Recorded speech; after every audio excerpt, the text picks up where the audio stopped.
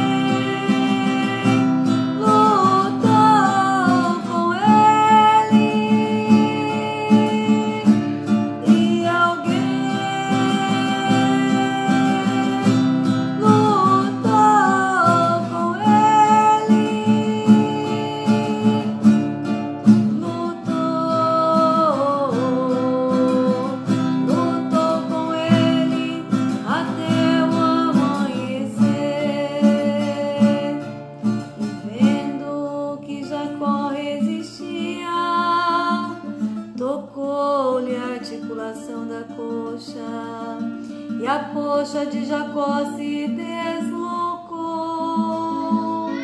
na luz.